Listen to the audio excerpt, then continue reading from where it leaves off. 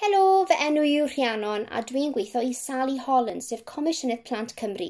Mae'n fus ebryll, a mi sôn hoffwn i siarad gyda chi am erthigol 24, sef eich hawl chi at fwyd da, dŵr glân ac i weld eich meddyg os ydych chi'n teimlo'n sal.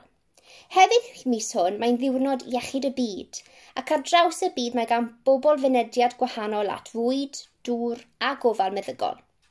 Felly, Rydw i am roi tri opsiwn i chi nawr a gallwch chi ddewis pa opsiwn hoffwch chi wneud. So, opsiwn cyntaf, dwi am i chi feddwl am y math y fwyd i chi'n bita. Ac o fewn eich plat bwyd, fel dwi wedi tynnu llun fan hyn, dwi am i chi dynnu llun y hoff fwyd i chi'n hoffi bita. Yr ail opsiwn, dwi am i chi feddwl am sut i chi'n defnyddio dŵr a sut allech chi ddefnyddio dŵr wrth beidio ei wastraffu. Gweld os allech chi gyfri sawl gwaith i chi'n defnyddio dŵr mewn un diwrnod. Rwyfusio'ch danedd, fflysio'r toilet, yfed dŵr.